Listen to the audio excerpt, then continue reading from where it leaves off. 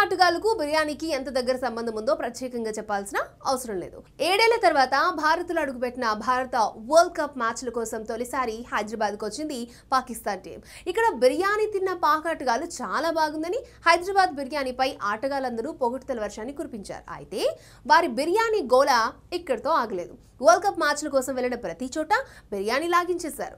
ఇటీవల కోల్కతాకు చేరుకున్న పాక్ ఆటగాళ్ళు బిర్యానీ కోసం చేసిన పని ఆశ్చర్యానికి గురిచేసింది. వరల్డ్ కప్లో భాగంగా ఇవాళ పాకిస్తాన్ బంగ్లాదేశ్తో మ్యాచ్ ఆడాల్సి ఉంది. కోల్కతాలోని ఈడెన్ గార్డెన్స్లో జరుగుతున్న ఈ మ్యాచ్ కోసం హోటల్కి చేరుకున్న పాకిస్తాన్ టీం వీరుంటున్న హోటల్లో బిర్యానీ తినడానికి తిరస్కరించారు. వీరు జొమాటోలో బిర్యానీ ఆర్డర్ చేసుకోవడం వైరల్గా మారింది. జొమాటో ద్వారా కోల్కతాలోని ఫేమస్ రెస్టారెంట్లలో చాప్ ఫిర్నీ కబాబ్లు షాహీ తుక్డా ఆర్డర్ చేసుకుని బాగా లాగించారని సమాచారం. ఇక వరల్డ్ కప్ విషయానికి వస్తే పాక్ క్రికెట్ జట్టు ఆడిన ఆరు మ్యాచ్ల్లో రెండు విజయాలు సాధించి మరొక నాలుగు మ్యాచ్ల్లో ఓడిపోయింది. సెమీస్ అవకాశాలను క్లిష్టం చేసుకున్న ఆటగాళ్ళు ఇవాళ బంగ్లాదేశ్ పై గనుక మ్యాచ్ ఓడిపోతే వరల్డ్ కప్ నుంచి నిష్క్రమిస్తుంది. మొత్తానికి వరుస పరాజయాలు వెంటాడుతున్న బిర్యానీ మీద మాత్రం వీరికి ఆశపోలేదు